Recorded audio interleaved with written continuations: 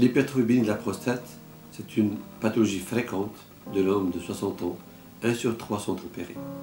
Depuis des années, l'évolution de la chirurgie endoscopique a montré des avantages et actuellement avec le développement de techniques nouvelles, notamment de laser, de vaporisation, nous avons pu incarcérer cette chirurgie de l'hypertrophie de la prostate dans une chirurgie ambulatoire pour donner plus d'avantages et de rendre cette chirurgie plus facile et plus simple pour les patients.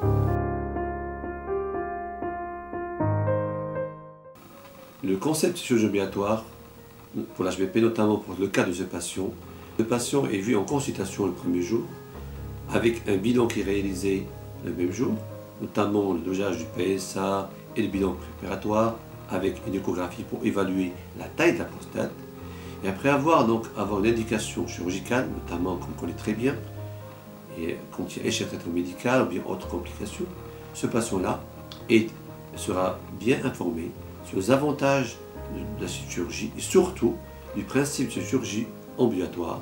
C'est ainsi qu'on lui donne une sorte de passeport de chirurgie ambulatoire, un document qui va bien le suivre, le permet jusqu'au niveau de sa sortie de la chirurgie.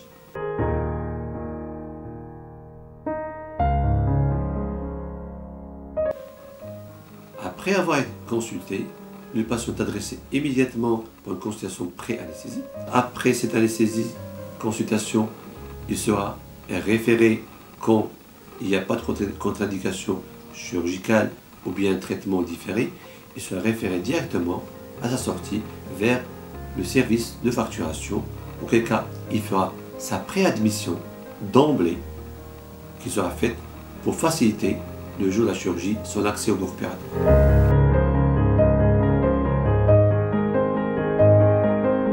Après avoir fait sa préadmission, son numéro de téléphone est enregistré et une équipe sera chargée de l'appeler à J-1 du bloc opératoire pour l'informer est-ce que tout se passe bien, est-ce qu'il a tout son bilan, est-ce que ce bilan préparatoire a été fait, est-ce qu'il est prêt pour l'intervention, est-ce qu'il n'y a pas une annulation d'intervention. Lendemain, le patient est admis le matin, après avoir donc pris son dossier de préadmission, il sera orienté vers l'hôpital de jour. Une fois à l'hôpital de jour, il sera accueilli par l'infirmière qui est déjà informée du patient et sera donc préparé avec changement de ses habits et acheminé immédiatement au bloc opératoire.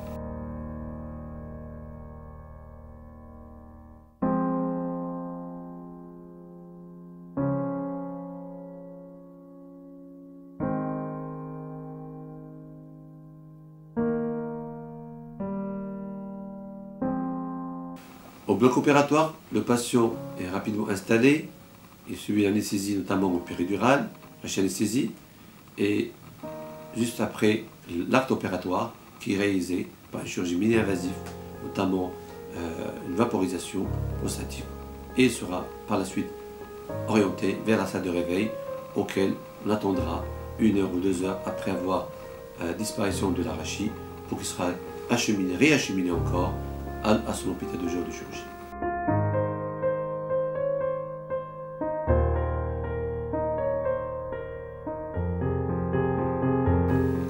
Dès son arrivée à l'hôpital de jour, le patient prend son petit déjeuner et même le déjeuner par la suite.